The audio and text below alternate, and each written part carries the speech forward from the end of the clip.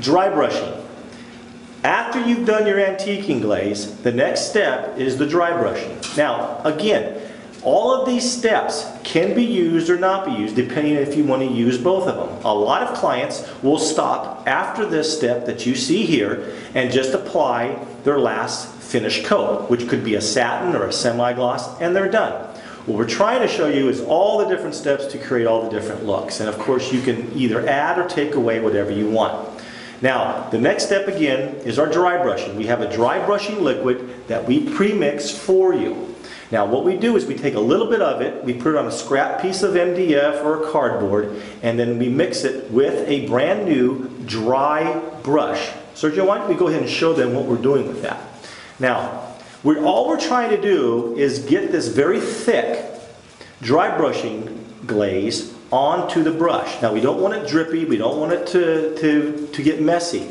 It's just, again, it's called dry brushing because the brush is very, very dry.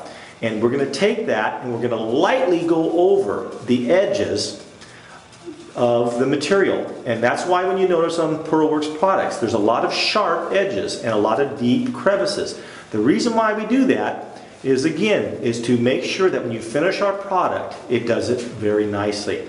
Now, you'll notice now Sergio's taking the outer edges of the shell and just lightly brushing the black glazing, or the, or the black dry brushing glaze over these edges. And he'll also do it to the moldings and different parts of the shell.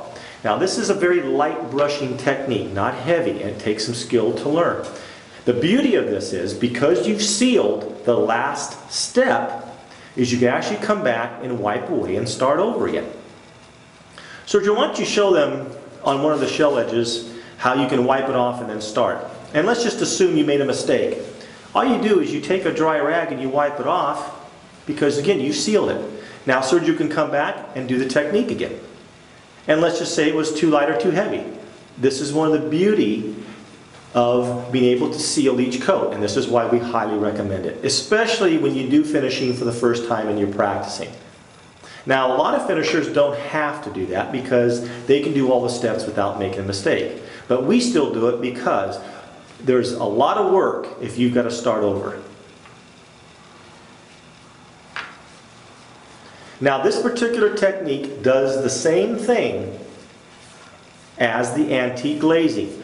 What it does, it's like eyeliner for a woman on her eyes. It brings out the detail in the molding and it makes it pop. And as you can see now, it's really starting to pop compared to the beginning steps.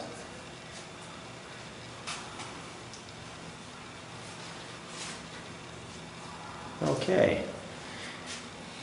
That's the dry brushing technique. And one of the things to remember is you can go as light or as heavy as you want depending on your taste.